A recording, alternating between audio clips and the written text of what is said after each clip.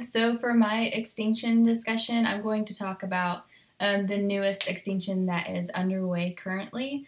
Uh, I think everybody already talked about um, the five major uh, mass extinctions, uh, so I couldn't really find anything else on any others. Um, but I did find some information on what they're calling the sixth major extinction.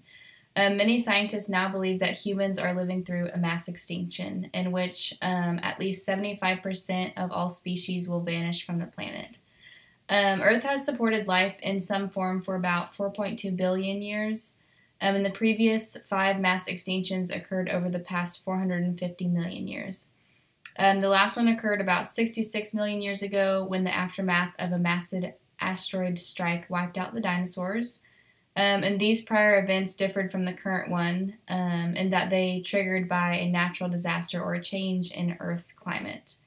Um, but this time it's actually the humanity that is driving um, the mass die off, um, which is why debate is now afoot in scientific circles um, over whether a re-Christian our uh, current geological epoch, as the new mass extinction would be called. Um, I'll probably pronounce this incorrectly, but it says Anthropocene era. Um, and anthropos means uh, for man, and cene for new. Um, and um, for like how fast this is happening, excuse me, it says that it's happening extremely fast. Um, species extinctions is an orderly part of the natural process of our planet. Um, and it says 99% of all species that have ever lived on Earth are gone.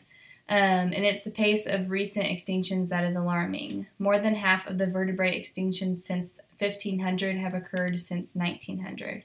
So, generally speaking, scientists assess the current rate of extinction as somewhere between 100 to 10,000 times Mother Nature's regular pace. Um, so, that's pretty scary extinction. Um, so, hopefully, that doesn't happen too soon.